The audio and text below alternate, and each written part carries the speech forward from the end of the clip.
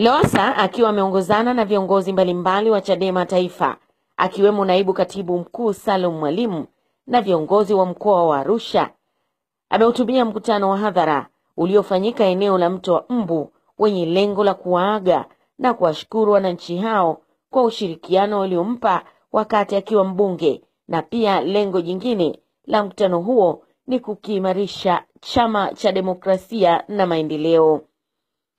Lowassa amewaambia viongozi hao kuhakikisha wanafanya kazi kwa bidii ili wajenge imani kwa wananchi na kana kwamba uchaguzi mwingine ni kesho ili wananchi waweze kuwachagua tena ifikapo mwaka elfu mbili na ishirini. Tufanye kazi kana kwamba uchaguzi ni kesho.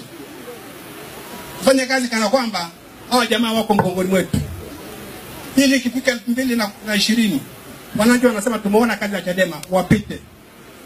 Hata wao waogope kushindana na sisi, lakini wanapita mitano, wanataka kuwaonga madiwani milioni ishirini. Hawapati mno.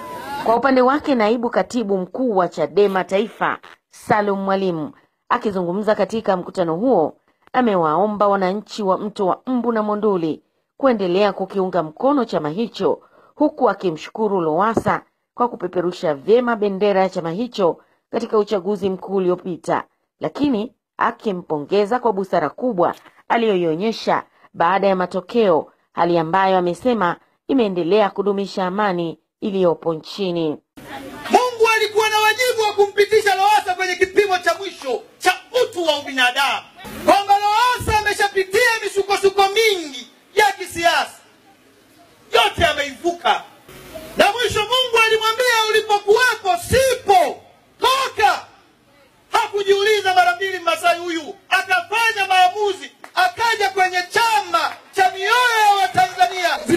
ambazo tunakusanya za kodi percentage 5% ya vijana na 5% ya kina mama haitakaa itumike, itatumika kwa walengwa.